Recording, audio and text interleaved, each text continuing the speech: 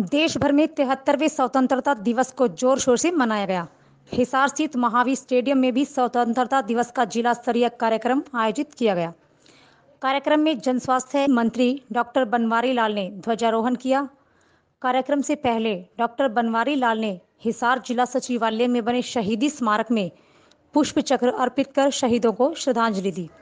स्वतंत्रता दिवस समारोह में विभिन्न स्कूलों के छात्र छात्राओं की तरफ़ से देशभक्ति से ओतप्रोत प्रस्तुतियाँ पेश की गई।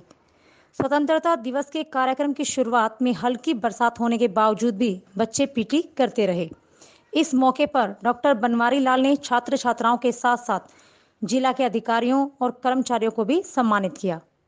डॉक्टर बनवारी लाल ने अपने संबोधन में आर्टिकल 370 और 35 ए का ज़िक्र करते हुए कहा कि इस बार का स्वतंत्रता दिवस भारत के लिए और जम्मू कश्मीर के लोगों के लिए अहम है।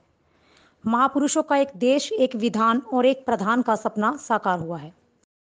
झूल गले जब की झूलड़ जावे शान दिखावे बावन गज के दामन की। सो मेरा हरियाणा सिगड़ी चले वो के मोर। ये समा ये बहार दिल जान सा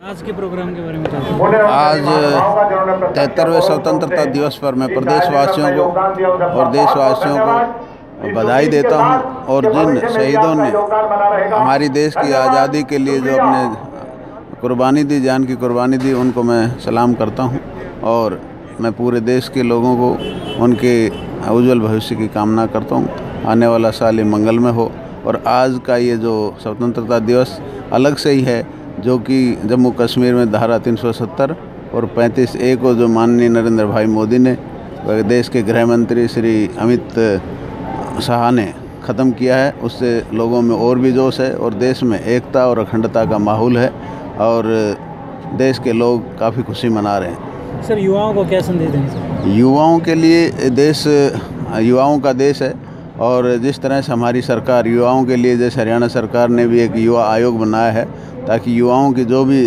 उनकी शिक्षा की उनके खेल की उसके स्वास्थ्य की चिंता कर सकें और युवा आगे बढ़ सकें। ठीक है थैंक यू